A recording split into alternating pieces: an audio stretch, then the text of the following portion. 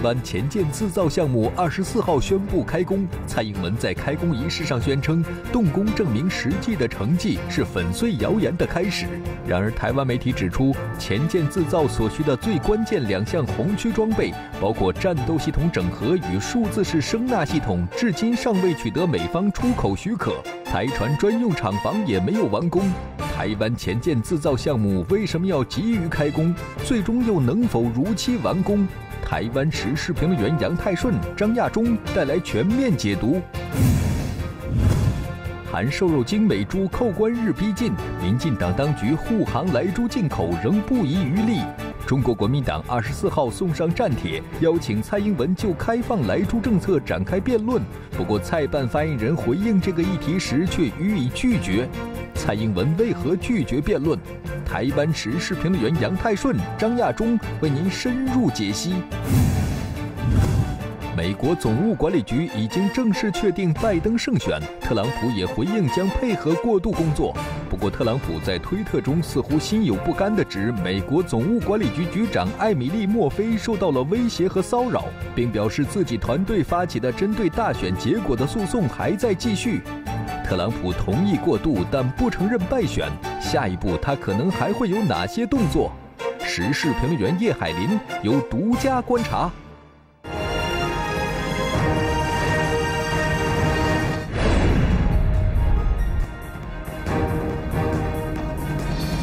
海峡新干线，两岸看世界，欢迎各位收看东南卫视海峡新干线。大家好，我是杨洋。本栏目由豪氏特约赞助播出，豪氏只用真材实料做好面包。本栏目由金砖会务用酒福猫窖酒赞助播出。我们来看新闻。解放军军机巡航台海已成常态。据台湾亲绿媒体《自由时报》报道，根据广播记录，解放军军机于二十四号清晨五点五十六分、七点五十分两度进入台西南方向空域，高度为三千及四千米。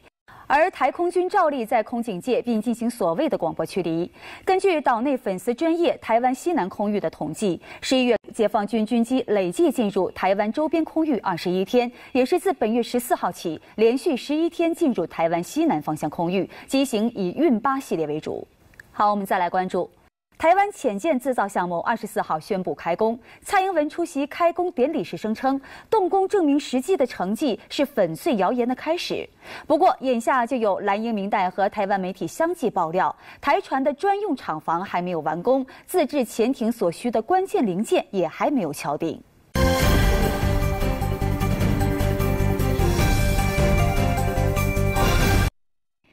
台海军期待已久的自制潜艇项目终于在二十四号开工。台湾地区领导人蔡英文、台船董事长郑文龙、所谓美国在台协会台北办事处处长厉英杰等人出席了当天的开工仪式。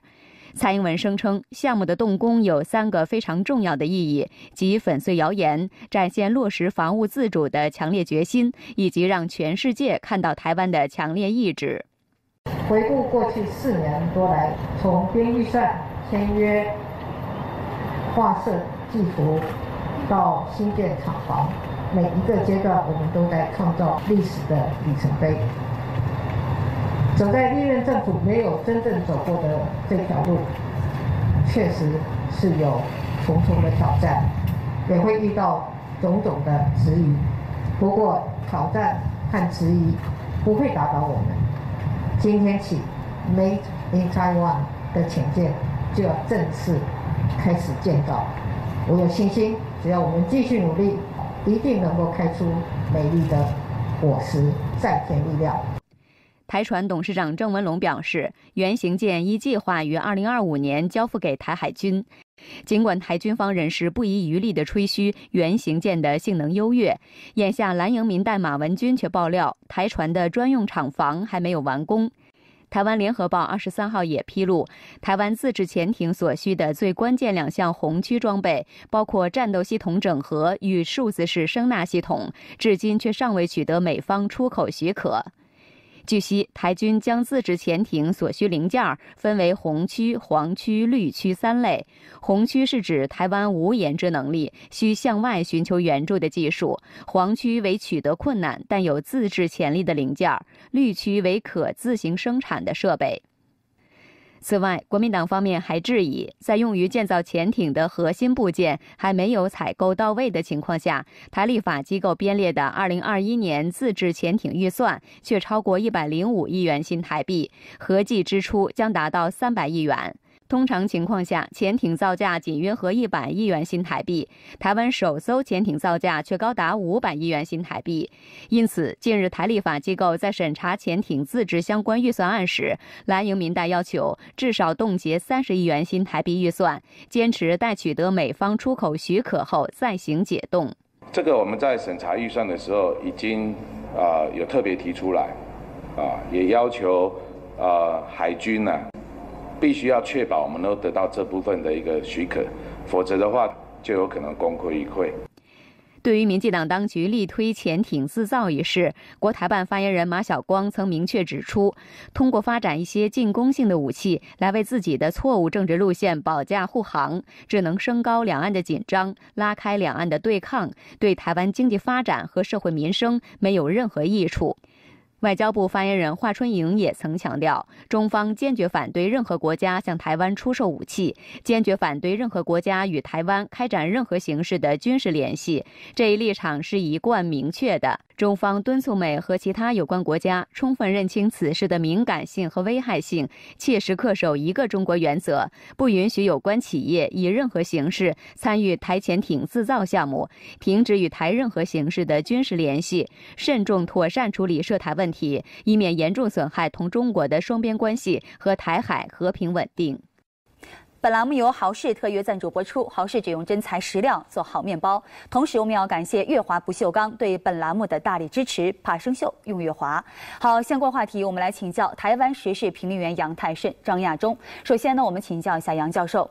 台湾潜舰制造项目二十四号宣布开工了，蔡英文更是在会上宣称。动工证明实际的成绩是粉碎谣言的开始。然而，有台媒指出，台湾潜舰制造所需的最关键两项红区装备，包括战斗系统整合与数字式声纳系统，却至今尚未取得美方出口许可。那么，您认为蔡英文所说的如期完成潜舰制造能实现吗？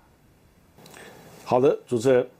啊，我们晓得这个潜舰的制造啊，那么动不动就是花上百亿的这个新台币，那么这么大的一笔金额啊，那我想任何理性的决策者总是要把各方的这种资源啊、各方的技术装备什么等等都到位以后啊，那么才敢去宣布开工。那万一有一部分的这个呃零组件啊没有办法到位的话，这个经费啊可能就因此这个泡汤了。啊，那么尤其呢，这次我们所了解的，呃，两个关键的零组件，一个是武器系统，啊，一个是呃数位声纳系统，这两个可以说都是潜舰的一个生命线啊，没有这些东西啊，这个潜舰等于就是在海里面的一个火把一样的，那么完全没有这个呃对对方啊造成一种威胁的能力啊，那自己也没有自我防卫的这个能力，那在这种情况之下，那么蔡政府居然就草率的宣布开工。那我认为背后有他一些政治上的考量，啊，因为我们看看这这一阵子啊，这一个月以来啊，台湾的确面临了很多的问题啊，比如说像呃美国含有莱克多巴胺的猪进口，在台湾就引起很大的轩然大波，然后在一个像这个蔡英文政府呢，过去一向依赖的川普政府啊，在这一次的这个连任上失利，那么使得这个民间对蔡英文政府的这个执政能力啊，那么跟判断力啊。那么就开始的有一些质疑，所以在这种情况之下，他当然啊就必须要制造一些呃新的题目啊，来让民众啊呃去关注啊。那么比如说呃最近台北也在传言说，哎，美国有一个神秘的嘉宾呢啊，一个军事的将领呢，那么搭乘行政专机到台湾来访问。那么这一类的这个新闻，本来人家对方也不希望你公开，那台湾政府呢也一向。呃，不喜欢公开这一类的事情，可是这一件消息怎么会曝光呢？那么可见蔡英文是有意的让这些消息曝光，然后让民间去，让这个这个新闻媒体去等等呢，转移到啊这些呃外宾来访的这个议题上面，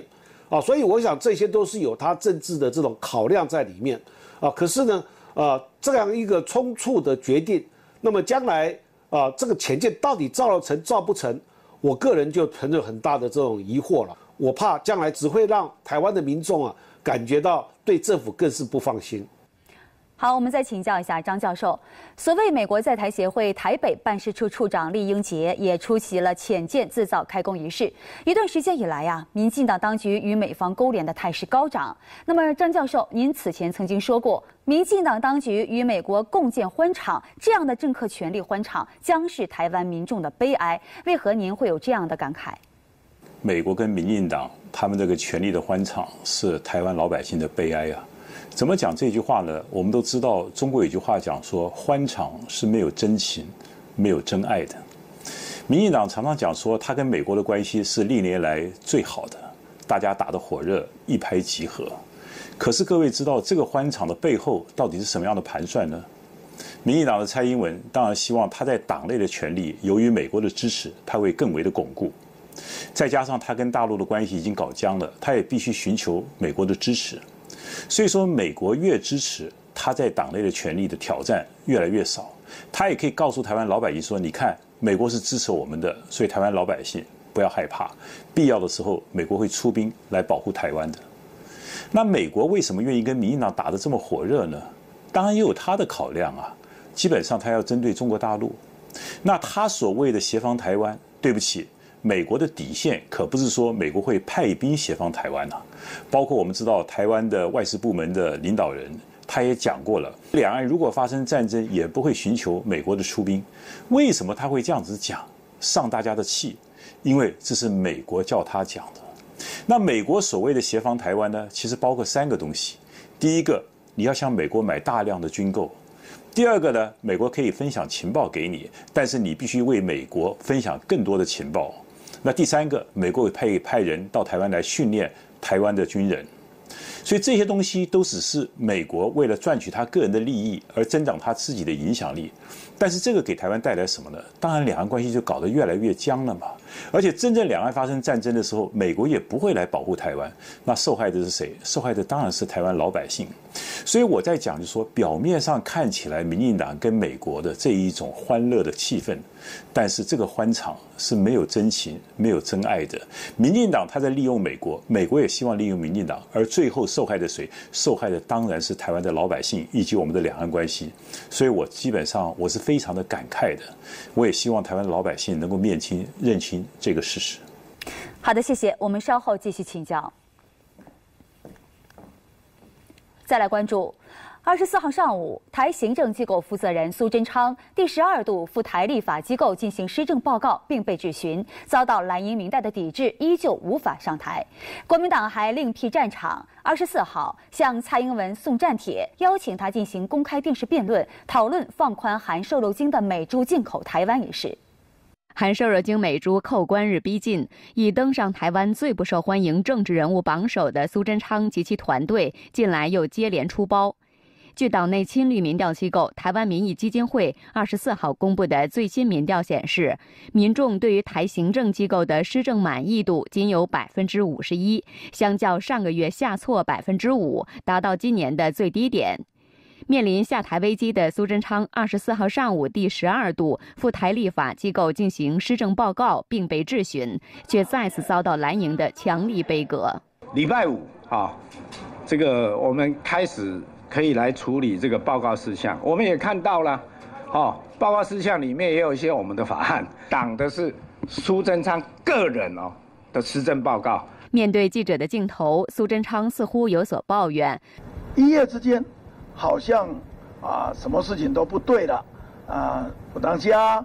基层公务人员也很丧气，觉得。好像这个老官嫌个老暖。然而，当被问到蔡英文还信任你吗？苏贞昌转头就走，没有回应。二十四号上午，国民党籍民代陈以信及国民党文传会主委王玉民等多人大动作前往蔡英文办公室前，递送来猪进口辩论邀请函。陈以信引用当年马英九接受时任民进党主席蔡英文邀请，就埃克法议题展开辩论的潜力，要求蔡英文也接受中国国民党主席江启臣的辩论邀请。蔡办发言人兼公共事务室主任高森代表蔡英文收下，却老调重弹称应让台行政机构负责人苏贞昌上台接受质询，拒绝国民党的邀请。接下来他不接受。我们的辩论的话，不是江主的辩论，我们叫人家笑，我们在立法院里边呢，我们在会去，会再有下一波的上街头的哦。民进党当局护航莱猪进口不遗余力。日前，国民党发布了一则反莱猪宣传片，民进党当局竟然批其是移花接木，有意往假消息方向调查。而针对国民党检举台行政机构前发言人丁仪明诬陷业者使用含瘦肉精美牛是在散播假消息，台警政单位却认为丁仪明的发言并非出于恶意。台湾媒体称，恶意和善意该怎么认定？民进党当局的主管机关自由新政，但什么样是并非恶意，什么样是基于善意？蓝营和各界的看法显然与民进党当局的标准不同。好，就此话题，我们继续来请教台湾时事评论员杨泰顺教授。中国国民党二十四号送上战帖，邀请蔡英文就开放来猪政策展开辩论。不过啊，蔡办却予以拒绝了。杨教授，您分析一下，蔡英文为何拒绝辩论呢？其实蔡英文拒绝辩论呢，我们几乎是事先就可以预测得到啊，因为从他的个人条件，那么以及他在这个议题上面，他过去政策的反复啊，啊，我们相信他绝对不敢去面对在野党的批判，甚至不敢在这个媒体前面呢来进行政策的这个辩论，啊，蔡英文这个人其实他的语言能力啊。那么，呃，并不是很好，而他个人对这些议题的这种研究啊，也不是那么用功。那台湾的这个一般的舆论界也很清楚，蔡英文这个人如果没有读稿机啊，那么来提示他，那么他有时候发言是呃零零落落的啊，就是呃常常牛头不对马嘴啊，这个逻辑上也有一些狗屁不通的这种状况出现。所以蔡英文并不是一个很会辩论，或者是很能够。呃，随机来这个呃反映的一个政治人物，好了，那你现在国民党提出这样一个辩论的这个请求，蔡英文他怎么敢去应战呢？然后再一个，就这个莱克多巴胺猪进口的这个事项啊，那么蔡英文他的前后政策的矛盾啊，从呃以今日之我否定昨日之我啊，这种情况可以说是罪证确凿。那么在这样一个情形之下啊。那对方一定会在辩论的过程里面，把你过去所讲的，然后来对照于你今天对于这个美猪开放进口的态度啊，一定会来做一个对照，然后来质疑你的立场到底是什么，你的中心信仰到底是什么。那蔡英文在这样一个公开的场合里面，一定会知无其词嘛，那自曝其短嘛。所以在这种情况之下，蔡英文当然他不愿意去接受这样一个辩论的这个挑战。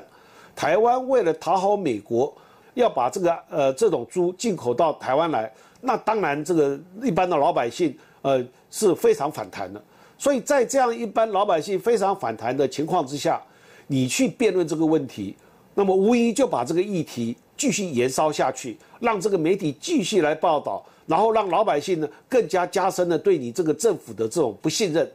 甚至很多过去支持他的一些呃支持者呢，可能会因为这样子而变成对民进党政府的一种反对。所以我不认为说蔡英文有这样一个胆量啊，或者说有这样子的一种呃理论上的这种基础，敢去接受来自于在野党的这样子的一个辩论的挑战。好的，谢谢。下面是广告时间，广告之后继续相关话题的讨论。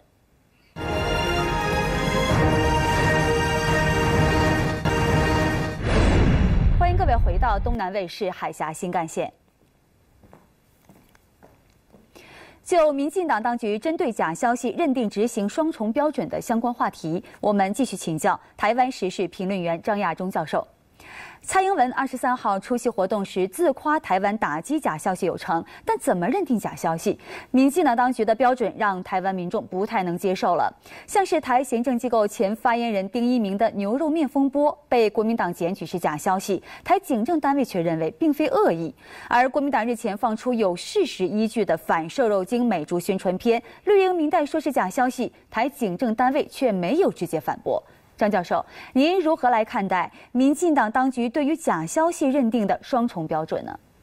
各位朋友，我们大家都有一种感觉哈，就是我们真的很讨厌一种人，就是讲话是两套标准的，见人说人话，见鬼说鬼话。他认为是对的就认为，他认为不对的就是不对。那很遗憾的，民进党就是这种双重标准。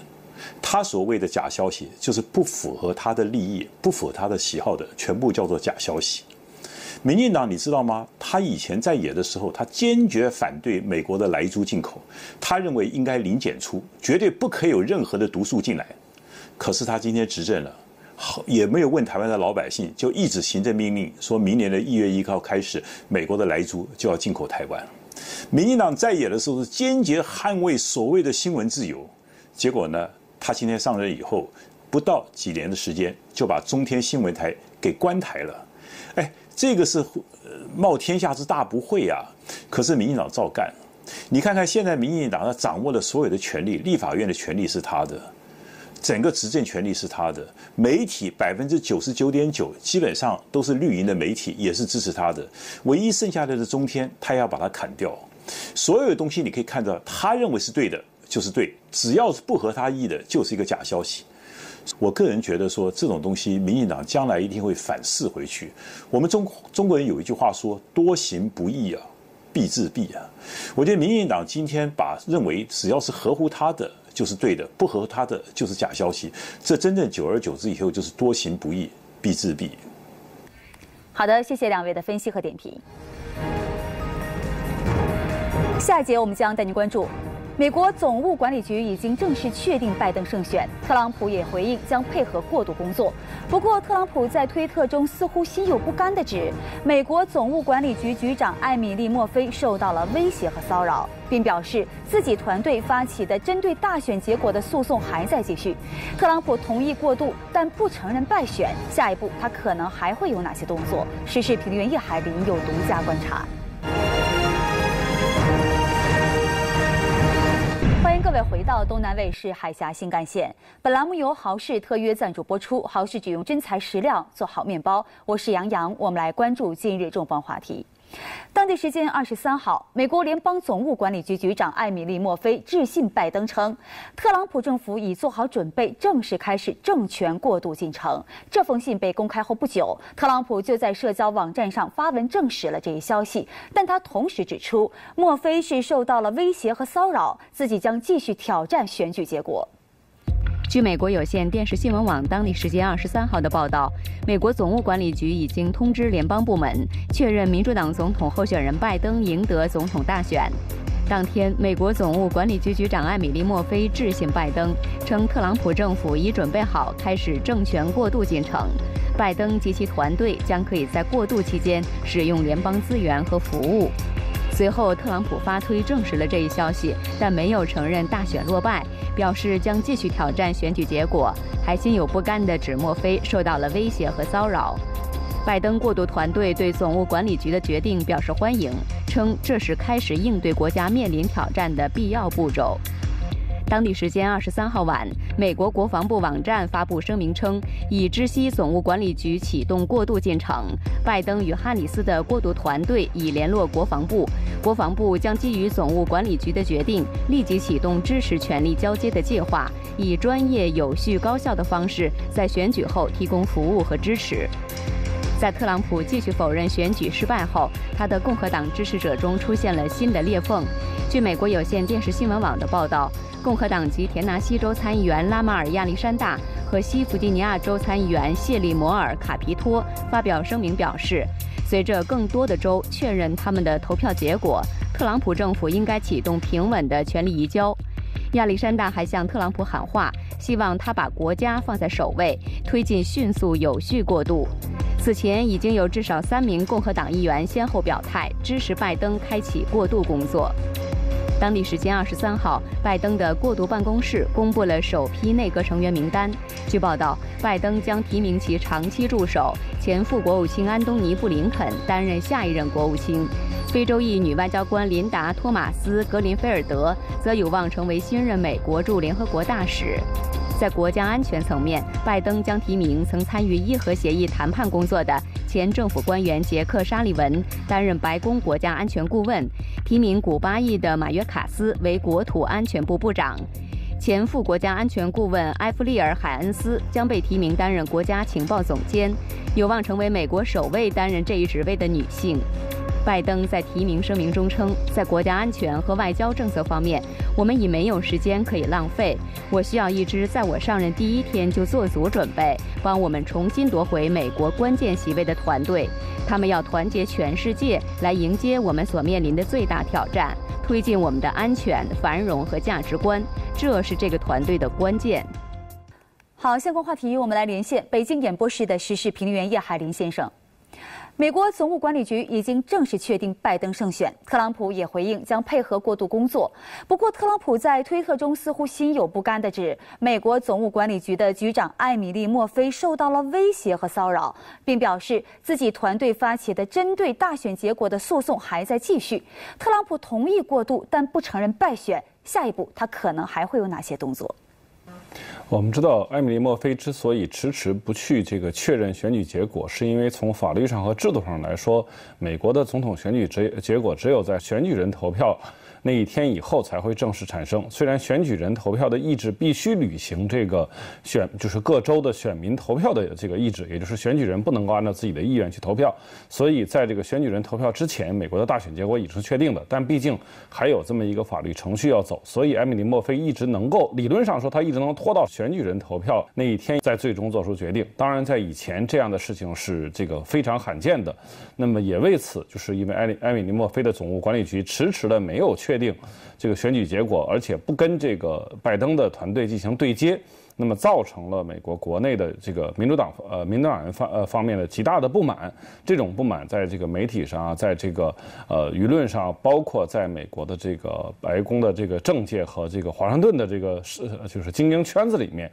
都形成了声浪。所以最终，那么呃特朗普方面才会做出一个呃姿态上的妥协，表示愿意这个配合。呃，总务管理局向这个民主党人呃竞选的这个拜登团队去移交权力，但这里面我们要看到一个问题，就是实际上这里面是有一个制度上的漏洞的，也就是说，啊，埃米丽·墨菲严格的来说，到选举人投票那一天之前，他的这个所作所为并没有任何错误。那之所以以前没有出现这样的情况，是因为选举结果很早就出现了，而且这个双方都不会提出异议，那么使得这个总务管理局可以很顺畅的进行移移交。但是到目前为止，就是呃，总管理局不向这个拜登移交权呃呃进行这种呃就是权力移交的过度准备，在法律上来说它是没有什么问题的。那么，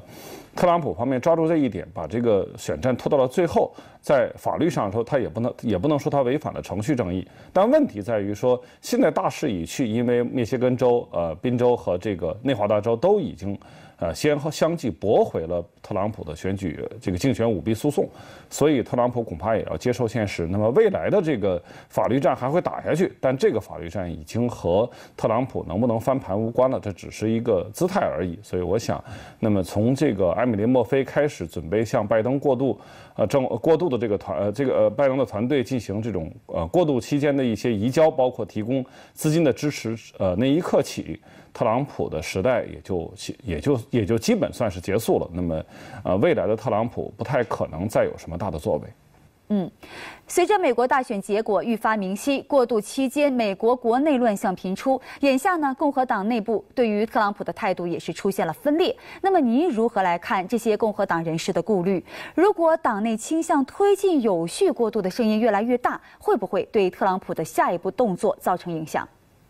实际上，两周以前，呃，共和党就已经开始跟特朗普切割了。我们注意到，在最近的这个几个星期内，关于选战舞弊的，无论是舆论战还是司法战，嗯，特朗共和党都没有给特朗普背书。那么，特朗普团队其实是孤军奋战的。那么，无论是在州的层面，还是在联邦层面，美国共和党现在已经开始谋划四年以后的复仇之战。去计量这个二零二四年谁代表共和党参选，有可能把民主党再赶回赶出白宫，这已经是共和党要考虑的问题。所以我们才看到，不论是特朗普发表这个公开的演讲啊，还是说这个在推特上的这个表态。都没有共和党为他呃背书。那么这个共和党的态度不是现在才确定的。那么在选战刚刚结束，一看选情不利的时候，共和党已经开始要跟特朗普团队切割了。所以最近两周，呃，在这个坚持和拜登纠缠不清的其实是特朗普家族，而不是共和党。所以这恐怕也是共这个特朗普在最近的几天。不得不做出妥协，承认自己选举失败，那么做释放出这样的信号的一个重要的原因，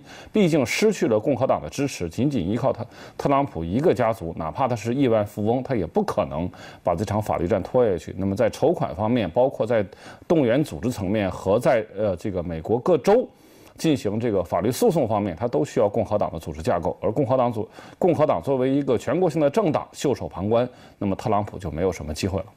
好的，谢谢叶海林先生，稍后继续请教。下面是广告时间，广告之后继续相关话题的讨论。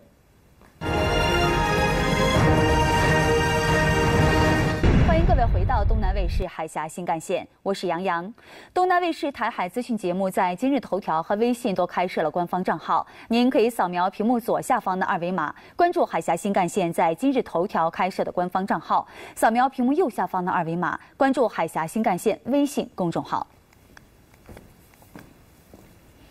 就拜登公布首批内阁成员名单的相关话题，我们继续连线北京演播室的时事评论员叶海林先生。拜登二十三号宣布了涉及国安及外交团队的首批内阁成员名单，还称我们已经没有时间可以浪费。那么您如何来看这批名单中的人选？在正式上任之前的过渡期，这些人将如何开展工作？呃，基本上拜登团队的老面孔其实是反特朗普而行之的，就是拜登的团队选择的是一些传统的民主党政治精英，特别是有丰富的外交经验的人，比如说他的应对全球气候变化的特使就是以前的国务卿约翰克里，那么他的这个国务卿的提人提名人布林肯，当年是这个奥巴马时期的副国务卿，而这个他的这个国家安全顾问实际上是克林顿政府时期的这个首席外交顾问。呃，就是沙利文，所以可见拜登用的人不但是老人，而且都是在呃民主党此前执政期间，就是克林顿时期和奥巴马时期，长期在白宫在这个华盛顿开展活动，特别是开展这个涉及到外交和安全方面的活动的这些典型的美国精英。这也反映出了拜登的思路，就是拜登和特朗普要形成一个尖锐的这个反差。那么拜登更看重的是传统的美国政治上的这些所谓的。国务精英，也就是这个我们说吧，特朗普一直在反对的那些人。那么特朗普一直在指责这些人高高在上，那么不关心美国的民众疾苦。但实际上，这些人的专业水平毕竟还是比较强的。那么拜登看重他们，也是看重他们在专业团队方面的这个呃有拥有的经验。那么拜登急于用一些老面孔，使得这个美国的西方盟友。能够恢复对美国外交的信心，能够让美国的这些前盟呃美国的这些盟友们感受到那种熟悉的氛围。我想，这个是拜登任任命一支呃应该说相当资深，同时也是说相当让人没有新意的这个外交团队的一个非常重要的原因。但这个团队现在显然还不能接手工作，那么他们目前所做的事情只能是呃这个接过美国政府现在提供给他们的一些简报，涉及到国家安全、涉及到外交的这样的一些内部的信息，以便这个。积累在最近几年之内，那么就把这个这个功课补上去，去积累一些现呃现实的知识，那么了解一些正在发生的热点的这个问题的一些内幕情况，为这个一月份呃拜登政府正式组成以后调整美国外交路线做准备。那么现在这些人，当然他们还有一个重要的工作，就是他们会在上任之前和美国的西方盟友，那么他这些官员这个进行私人层面的接触。以便为他们工作这个正式履职以后开展工作，建立这种人际上的这个桥梁和纽带。但对于像布林肯、像克里这样的人，其实这一步的问题并不是特别艰巨，因为他们都是一些熟脸。那么跟这个西方国家、跟欧洲、跟日本的这些政要的关系其实是比较热络的。那么他们并不需要临时搭建这种这个桥梁。这一点就跟特朗普时期呃外交团队的这种对国际事务和国际政要两眼一摸黑的情况形成了非常尖锐的对比。好的，谢谢叶海林先生的分析和点评。想要了解更多更丰富的两岸资讯，您可以扫描屏幕左下方的二维码，关注海峡新干线在今日头条开设的官方账号；扫描屏幕右下方的二维码，关注海峡新干线微信公众号。东南卫视台海资讯台节目三百六十五天带您直击新闻现场，欢迎您锁定每天午间播出的《海峡午报》和每天晚间播出的《海峡新干线》。获取更多音视频资讯，请扫描屏幕下方的二维码，下载福建省广播影视集团官方客户端海博 TV。今天的海峡新干。在线就是这样了。感谢您的收看，我是杨洋，我们明天再会。